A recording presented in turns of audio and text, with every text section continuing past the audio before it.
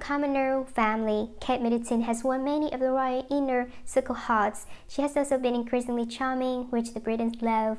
Other than her wishes to have more speaking engaged forward ways of thinking, she has been single-heartedly doing many royal duties alone and superior to it. A source close to the royal has shared with Us Weekly Kate's plans when she becomes queen consort. According to the source, Kate will be more hands-on with royal fans and is hoping more visits since her entrance to the royal family in 2011. The Duchess of Cambridge has only been impressing her royal subjects and members of the royal family.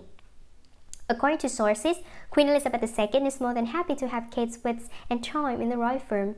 The Duchess is also known for her Charles and Camilla Parker Bowles taking over the throne. Many Britons are now more than excited to have Prince William become their heir apparent and Kate Middleton to the Queen future queen consort. Kate has become increasingly popular amongst Britons and those from the Commonwealth nations, as her husband becomes monarch. The Duchess expressed her hopes to change outdated royal protocols. Kate may change some of the outdated royal rules when she becomes queen consort, the source say. Furthermore, Kate wishes to have more public speaking engagements and have more time to meet different people from every aspect of life as queen consort. Already the mother of three has broken several protocols but well within the limits of the royal family.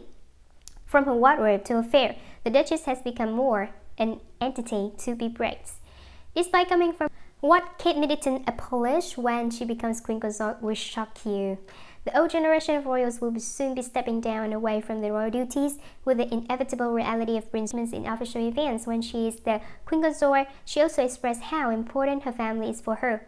Rumors are betting that Kate Middleton will become queen consort in five years' time, as which Prince Charles will take over the throne at a very old age. There are also allegations about Queen Elizabeth is likely to pass the crown directly to Prince William, skipping Prince Charles and giving the people what they want.